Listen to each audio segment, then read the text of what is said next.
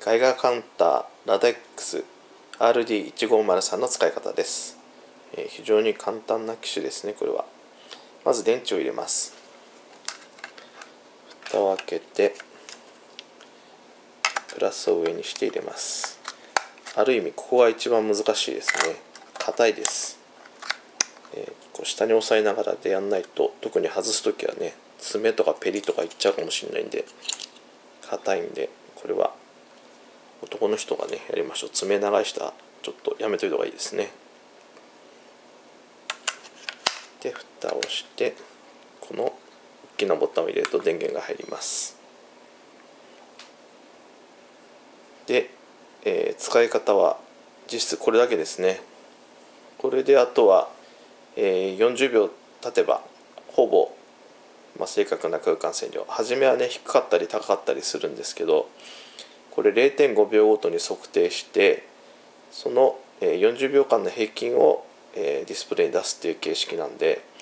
よく数字がばらつきすぎてどれを信じたらいいんですかって質問が来るんですね他の機種だと。そういう心配はこれの場合ないです。もう40秒経てば出てる数字がすでに平均なんでその数字を信じちゃって大丈夫ですね。であとここに書いてあるコンマ0コンマ30っていうのがですね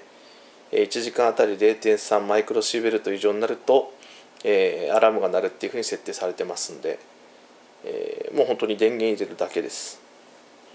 で放射線を感知するとここにピコって光りますね。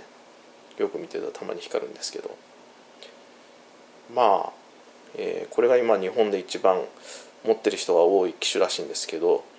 まあ、確かに使ってみるとね、えー、電源入れるだけで他やることないんでまあ、使いやすいというか簡単というか、えー、メカに弱いという自信のある方機械音痴の方には特におすすめです、えー、ラデックス RD1503 の使い方、えー、サンキュー堀秀夫でした。あ電源切るときここですね。ちょっと長押し。